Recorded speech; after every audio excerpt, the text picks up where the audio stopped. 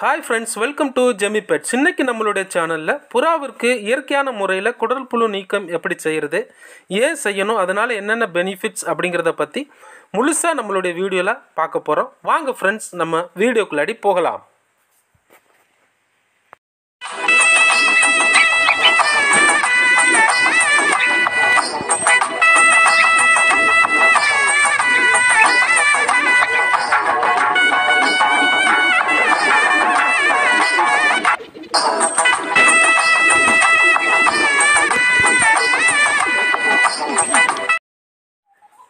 Hi friends எல்லோருக்கும் பொங்கல் மற்றும் புத்தாண்டு வாழ்த்துக்கள்.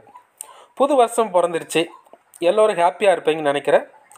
இந்த வருஷம் நம்மளுடைய பெட்ஸ் லவர்ஸ் எல்லோருக்கும் நம்மளுடைய சப்ஸ்கிரைப்ஸ் நம்மளுடைய ஃபாலோவர்ஸ் புதுசாக நம்மளுடைய வீடியோ பார்க்குறவங்க எல்லோருக்குமே நம்மளுடைய சேனல் சார்பாக புத்தாண்டு வாழ்த்துக்களை தெரிவித்துக்கிறோம்.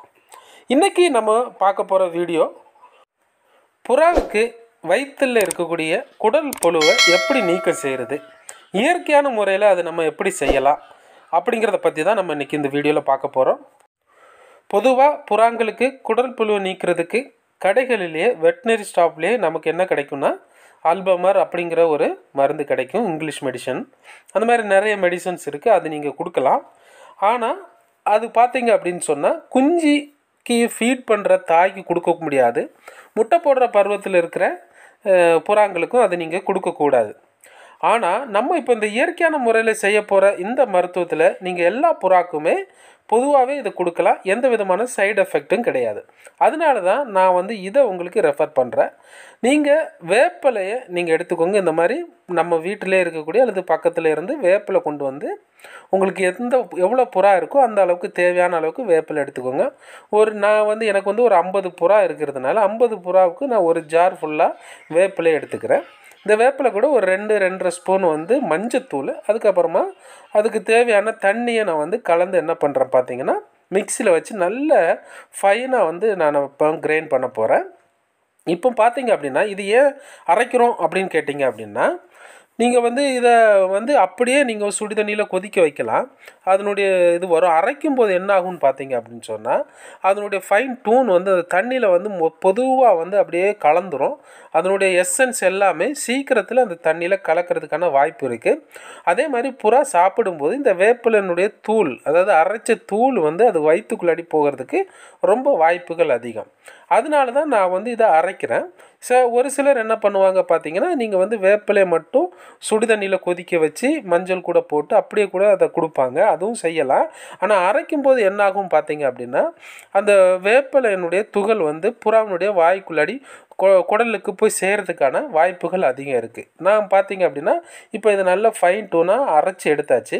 இப்போ நம்ம அந்த அரைச்சதை வந்து ஒரு ஜாருக்கு மாற்றிட்டு அந்த ஜாரில் கொஞ்சம் எக்ஸ்ட்ரா என்ன தேவையான அளவுக்கு கொஞ்சம் தண்ணி வச்சு நம்ம என்ன பண்ண போகிறோம்னா ஸ்டவ்வில் பற்ற வைக்க போகிறோம் ஸ்டவ்வில் பற்ற வச்சு நல்லா கொதிக்க விட்டு அந்த தண்ணியை எடுத்து புறாக்கு குடிக்கிற தண்ணியில் நம்ம வந்து கலந்து வைக்க போகிறோம் இது கொதிக்க வைக்கிறதுனால என்ன பலன் அப்படின்னு பார்த்தீங்கன்னா இந்த வேப்பிலை மஞ்சளில் இருக்கக்கூடிய எசன்ஸ் வந்து முழுசாக தண்ணியில் வந்து சேர்ந்துருது ஒன்று ரெண்டாவது பார்த்தீங்க அப்படின்னா இந்த வேப்ப மரத்தில் வந்து பார்த்தீங்கன்னா வேப்ப இலைகளில் நீங்கள் என்ன தான் சுத்தம் செஞ்சுருந்தாலும் அதில் வந்து சிலந்தி பூச்சிகள் சின்ன சின்ன ஏதாவது ஒன்று கூடு கட்டியிருக்கலாம் அல்லது பூ வண்டுகள் ஏதோ கொசு வந்து முட்டை போட்டு வைக்கலாம்.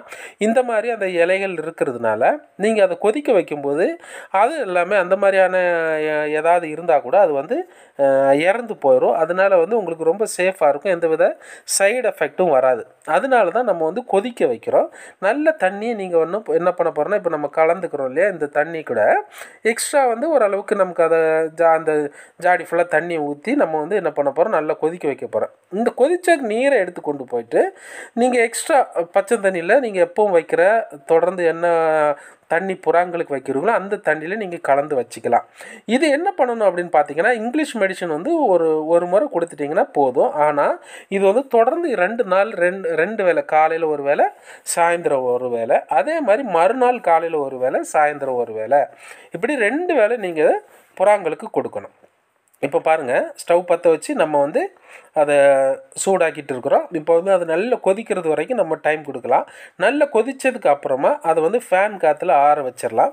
இப்போ நீங்கள் இந்த இந்த வந்து உங்களுக்கு நிறைய செஞ்சிட்டீங்க அப்படின்னா கூட இந்த கொதித்து ஆறின தண்ணி நீங்கள் வந்து ஃப்ரிட்ஜில் எடுத்து வச்சுக்கலாம். அதுக்கப்புறம் மறுநாள் கூட நீங்கள் அதை யூஸ் பண்ணிக்கலாம். அதனால கொதிக்க வைக்கிறதுனால உங்களுக்கு நல்ல பெனிஃபிட் கிடைக்கும். அதே போல் நண்பர்களே நீங்கள் இந்த மருந்து தயாரித்து நீங்கள் புறாங்களுக்கு கொடுக்கறதுக்கு முன்னாடி நீங்கள் செய்ய வேண்டிய ஒரு டெக்னிக் இருக்குது அதாவது நீங்கள் புறாக்கு ரெகுலராக வைக்கிற காலையில் எப்பவும் தண்ணி வைக்கிறீங்க இல்லையா? அதை வந்து ஸ்டாப் பண்ணிடுங்க காலையில் வைக்காதீங்க. அதுக்கப்புறமா ஒரு த்ரீ ஹவர்ஸ் ஃபோர் ஹவர்ஸ் அதுக்கு தண்ணியே கூண்டில் வைக்காதீங்க. அது தாகத்தில் ரொம்ப தாகத்தில் அதை கொண்டு வாங்க. அது ரொம்ப தாகமாக இருந்ததுக்கு அப்புறமா நீங்கள் வந்து இந்த கஷாயத்தை தண்ணியில் கலந்து நீங்கள் கொடுங்க. ஏன் அப்படி சொல்கிறேன் அப்படின்னு பார்த்தீங்கன்னா நீங்கள் எப்பவும் ரெகுலராக வைக்கிற டைமில் நீங்கள் வச்சிட்டிங்க அப்படின்னா அது வந்து குடிக்க வரும்போது ரொம்ப கசப்பாக இருக்கிறதுனால அது குடிக்காது திரும்ப போய் உட்காந்துக்கும் அப்புறம் அன்னைக்கு ஃபுல்லாக தண்ணியே எடுக்காது. நீங்கள் மருந்து செஞ்சு வீணாக போயிடும் அதனால ரொம்ப தாகம் அது இருக்கிற மாதிரி ரெகுலராக கொடுக்குற டைமை விட்டுட்டு ஒரு சொல்லப்போனால் ஆஃப் டே கொடுக்காதீங்க. மதியத்துக்கு மேலே ஒரு மணி ரெண்டு மணி போல் நீங்கள் வந்து தண்ணி கொண்டு வச்சிங்க அப்படின்னா ரொம்ப தாகமாக இருக்கும். உடனே வந்து இந்த புறாங்கள் வந்து இதை குடிக்க ஆரம்பிச்சிடும் ஸோ குடிச்சிச்சுன்னு சொன்னால் அதுக்கு வயிற்றுக்குள்ளாடி போய் அந்த கிருமிகள் எல்லாம் வந்து சாகடிச்சிடும் இது ரெண்டு நாள் தொடர்ந்து இந்த மாதிரி செய்யுங்க. ஏன் நம்ம வந்து புறாங்களுக்கு குடற்புழு நீக்கம் செய்யணும் அப்படின்னு பார்த்தீங்க அப்படின்னா எந்தெந்த புறாங்களுக்கு குடற்புழு அதிகமாக இருக்குது அப்படிங்கிறத எப்படி கண்டுபிடிக்கணும் அப்படிங்கிறத நம்ம முதல்ல பார்க்கலாம். புறா வந்து ரொம்ப சோர்வாக இருக்கும். மற்ற புறாங்களோட சேராமல் தனிச்சே இருக்கும். ஃபுட்டு வச்சிங்க அப்படின்னா சாப்பிடாது. ரெக்கையை குன் குனிய வைக்கிற மாதிரி குனிஞ்சிட்டு முதுகை தூக்கிக்கிட்டு டல்லாக இருக்குது அப்படின்னாலே அதுக்கு குடற்புழு அதிகமாக இருக்குன்னு அர்த்தம்.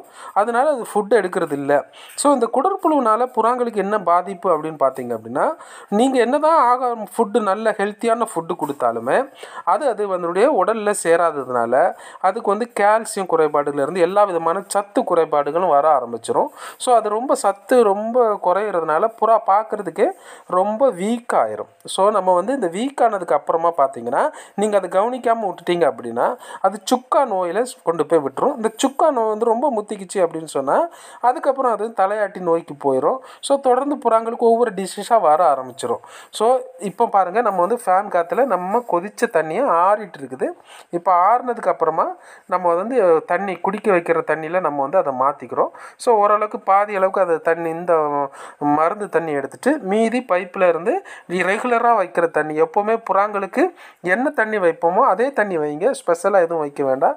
ஸோ நீங்கள் நாங்கள் வந்து இந்த எங்களுடைய வாட்டர் தான் நாங்கள் யூஸ் பண்ணுறோம் அதே தான் நான் இப்போ அதை கலந்துக்கிறேன். ஸோ கலந்துக்கிட்டு இப்போ நம்ம கொண்டு கொடுக்க போகிறோம் ஸோ புறாங்கள்லாம் வந்து சாப்பிட்றத நீங்களே பாருங்கள் ரெண்டாவது நான் இப்போ சொல்லிட்டு இருந்தேன் இல்லையா? ஸோ இந்த குடற்புழு இருக்கிறதுனால புறாங்களுடைய ஹெல்த் வந்து வீக் ஆகி புறாங்க வந்து இறந்து போகிறதுக்கான வாய்ப்புகள் அதிகம். ஸோ பொதுவாக மூணு மாதத்துக்கு ஒரு முறை இந்த மாதிரி நீங்கள் வந்து குடற்புழு நீக்கம் செஞ்சிட்டீங்க அப்படின்னு சொன்னால் புறாங்கள் எல்லாமே ரொம்ப ஹெல்த்தியாக வர ஆரம்பிச்சிடும் இதனால் புறாங்கள் வந்து தன்னுடைய குஞ்சுகளுக்கு நல்ல ஃபுட்டு கொடுக்கவும் ஆரோக்கியமாக இருக்கவும் குஞ்சுகளை காப்பாற்றுறதுக்கும் எந்தவித மற்ற நோய்கள் எதுவும் வந்து அட்டாக் ஆகாமல் இருக்கிறதுக்கும் இது ரொம்ப முக்கியமான பங்கு வகிக்குது. நான் சொன்னது மாதிரி ரெண்டு நாள் தொடர்ந்து நாலு வேளை இந்த மாதிரி நீங்கள் மருந்து தண்ணி கொடுத்ததுக்கு அப்புறமா புறா வந்து நல்ல ஃபுட் எடுக்க ஆரம்பிச்சிடும் அதுக்கப்புறமா ஒரு ரெண்டு நாள் அல்லது மூன்று நாள் பொறுத்து அதுக்கான சத்துக்கான ஆகாரங்களை நீங்கள் வந்து கொடுக்க ஆரம்பிங்க. பொதுவாக விமரல் டானிக் அந்த மாதிரியான டானிக் வகைகள்லாம் நீங்கள் கொடுத்தீங்க அப்படின்னா புறா ரொம்ப ஹெல்த்தியாக வந்துடும் ஸோ பெரும்பாலான நோய்கள் புறாவை அட்டாக் பண்ணுறதுக்கு மொதல் காரணம் வயிற்றில் இருக்கக்கூடிய குடற்புழு தான். இந்த குடற்புழு நீக்கியாச்சுனாலே புறா நீங்கள் கொடுக்குற ஆகாரத்தில் உள்ள சத்தை அது எடுத்துக்கும். இல்லைன்னா நீங்கள் எவ்வளோ தான் நல்ல ஹெல்த்தியான ஃபுட்டு காஸ்ட்லியான ஃபுட்டு கொடுத்தாலுமே புறா வந்து வீக்காக தான் இருக்கும். அதுலேருந்து வீக் புறா வீக் ஆயிடுச்சு ஃபுட் எடுக்கலைனாலே ஒவ்வொரு நோயாக தொடர ஆரம்பிச்சிடும் அதுக்கப்புறம் உங்களால் அந்த புறாவை காப்பாற்ற முடியாமல் போயிடும் ஸோ சிரமம் பார்க்காம நீங்கள் இந்த மாதிரி மா மூணு மாதத்துக்கு ஒரு முறை இந்த மாதிரி நான் சொன்ன மெத்தடில் நீங்கள் செஞ்சு கொடுத்தீங்க அப்படின்னா உங்கள் புறா எப்போவுமே ரொம்ப ஹெல்த்தியாக இருக்கும் ஆரோக்கியமாக இருக்கும். நீங்கள் ஹாப்பியாக புறா வளர்க்கலாம். எந்த விதமான டென்ஷனும் தேவைப்படாது. உங்களுக்கு எந்த விதமான நோயும் வர்றதுக்கு முன்னாடியே நீங்கள் வந்து இந்த மாதிரி செஞ்சு ஆரம்பிச்சிட்டிங்க அப்படின்னா நோய்கள் வந்து பெரும்பாலுமான நோய்கள் வந்து உங்கள் புறாவை அட்டாக் பண்ணாது. எதுக்குன்னா உங்களுடைய புறாக்கு இம்யூனிட்டி பவர் அதிகமாக இருக்கும். அதனால் ஹெல்த்தியான புறாங்களுக்கு நோய் திடீர்னு வந்து தாக்காது. ஸோ வீக்காக இருக்கிற புறாங்களை தான் நோய் வந்து தாக்கும். ஸோ நீங்கள் இந்த குடல் புழு நீக்கம் செஞ்சீங்க அப்படின்னா வீக்காக இருக்கிற புறா கூட ரொம்ப ஹெல்த்தியாக மாறிடும் நீங்கள் பார்க்குற நம்மளுடைய வீடியோவில் பார்த்தீங்கன்னா புறாங்கள் வந்து தண்ணியை வந்து ரொம்ப இன்ட்ரெஸ்ட்டாக சாப்பிட்றதில்ல. தொட்டு தொட்டு பார்க்குது இத்தனைக்கும் நான் காலையில் தண்ணி வைக்காமல் ஆஃப்டர்நூன் தான் வச்சுருக்கிறேன். ஆனால் வந்த உடனே அதை வந்து குடிக்கும்போது அது கசப்பாக இருக்கிறதுனால கொஞ்சம் விட்டு தான் குடிக்குது. அதனால தான் நான் சொல்கிறேன் எப்போவுமே நீங்கள் வந்து கொஞ்சம் லேட்டாகவே இந்த மாதிரியான தண்ணியை கொடுங்க. அப்போ தான் அது வந்து சாப்பிட ஆரம்பிக்கும். ஸோ இந்த மெத்தடை நீங்கள் செய்யுங்க ஃபாலோ பண்ணுங்கள் நிச்சயமாக உங்கள் புறாக்கள் ரொம்ப ஆரோக்கியமாக எந்த விதமான நோயும் வந்து சேராமல் ஆரோக்கியமாக இருக்கும். தாராளமாக இதை நீங்கள் ட்ரை பண்ணுங்கள் உங்களுக்கு ஏதாவது சந்தேகம் இருந்தால் கூட நீங்கள் கமெண்ட் பாக்ஸில் எழுதுங்க. நிச்சயமாக நான் உங்களுக்கு பதில் சொல்கிறேன் இது வரைக்கும் என்னோடய சேனலை நீங்கள் சப்ஸ்கிரைப் பண்ணலைன்னா என்னோடய சேனலை சப்ஸ்கிரைப் பண்ணி எனக்கு சப்போர்ட் பண்ணுங்கள் நீங்கள் சப்போர்ட் பண்ணால் மட்டும்தான் நான் தொடர்ந்து நிறைய வீடியோக்கள் இது போல் நான் உங்களுக்கு போட முடியும். ஸோ உங்களுடைய சப்போர்ட் எனக்கு தேவை. தயவு செஞ்சு என்னுடைய சேனலை சப்ஸ்கிரைப் பண்ணி எனக்கு சப்போர்ட் பண்ணுங்கள் நன்றி நண்பர்களே.